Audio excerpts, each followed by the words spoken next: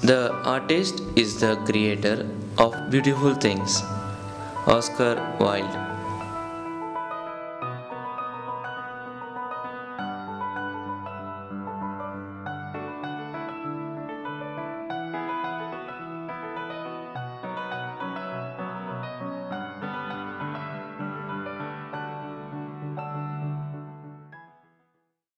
Creative Heart Institute of Photography.